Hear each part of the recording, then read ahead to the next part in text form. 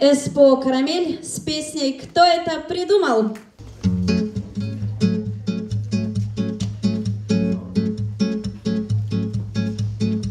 Кто это придумал в прошлом том столетии? Отправлять ребят молоденьких на целину. Уезжали Надя с Ваней Пети, Поднимать великую бескрайнюю страну. Городишко захолустный незнакомый, Строит ряд рыбасы